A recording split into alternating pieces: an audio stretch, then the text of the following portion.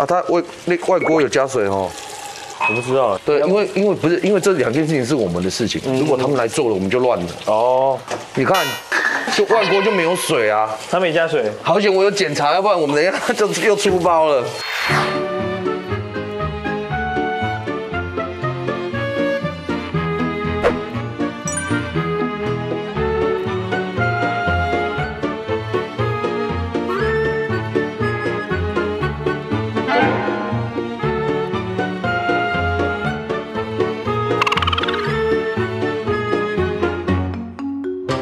阿布，嗨我跟你讲，你下次要学会煮饭，那个电锅加完水之后，外锅也要加水哦哦，要不然电锅不会产生水蒸气，它不会煮，它不会好没办法加热。我第一次用大红电锅。对对对，你们外面都好了哈。哎，啊，帮我试一下，昨天有一个没有试到的甜点，这是什么？然后我现在把那个面茶粉炒好了，试试看哦，不要把它剥开喽。这样颗粒感好吗？好，如果用如果用焦糖的嘞，更好。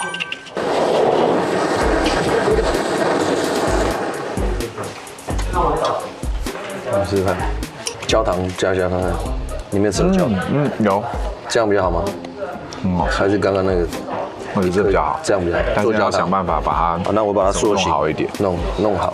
OK，我们这里会做菜的人真的不多，我唯一在厨房端能够帮到忙的，比方说试一点味道，但是真正能够去拿捏那个口感的平衡或者味道的平衡，真的只有主厨本人这样子。其实我们这七个嘴巴都蛮刁的，我们心目中想的那个方向是很有名的餐厅，其实他们都是拿那个口味来比较。